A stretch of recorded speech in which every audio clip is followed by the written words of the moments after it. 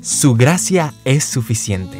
Meditación basada íntegramente en las acciones y los escritos del apóstol Pablo, donde se detiene a menudo en los datos biográficos y nos ayudan a sacar el máximo provecho de diversos consejos sobre la vida espiritual, eclesiástica, familiar y social. Escuchemos un tema más de Su gracia es suficiente.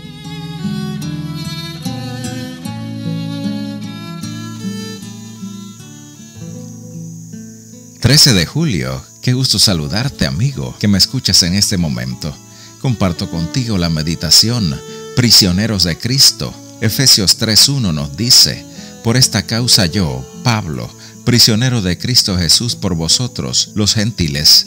De las 14 epístolas escritas por Pablo, 5, Efesios, Filipenses, Colosenses, Segunda de Timoteo, Filemón, fueron muy probablemente escritas desde la prisión, Pablo llegó a considerar su encarcelamiento como parte de su actividad apostólica, llamándose a sí mismo prisionero de Cristo Jesús. Su padecimiento fue una inspiración para los demás creyentes y no una causa de deshonra o vergüenza. En Filipos fue encerrado en una mazmorra, con los pies en un cepo y puesto bajo custodia militar cerca del templo en Jerusalén. En Cesarea fue prisionero en el palacio de Herodes mientras esperaba el juicio.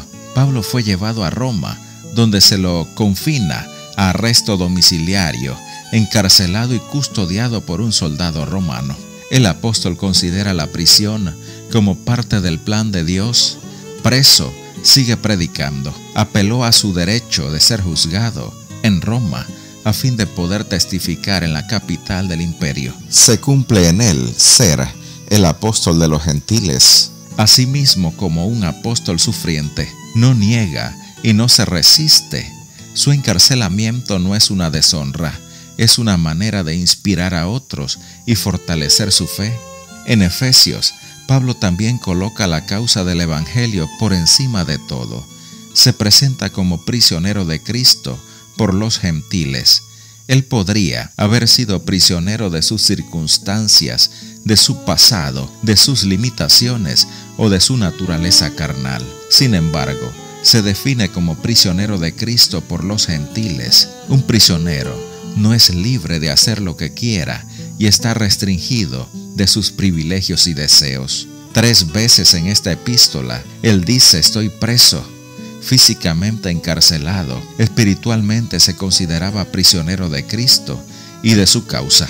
Su delito fue decir que los gentiles eran tan herederos de la promesa del Señor como los judíos. El odio de sus compatriotas no tenía límites, así como tampoco lo tenía su celo por salvar a todos. Somos cautivos de Cristo, el Señor de la vida y de su iglesia. Marchemos en pos de Él porque sabemos hacia dónde se dirige y de vez en cuando se nos abren los ojos y vemos a otros compañeros, también cautivos, formando parte de la misma marcha. Y vale la pena, David Fisher. Cuando nos reconocemos prisioneros de Cristo, somos libres del pecado y vivimos para transformar a esclavos del pecado en prisioneros del Señor. Motivado por el tema que escuchó, le invitamos para que no se pierda mañana, su gracia es suficiente.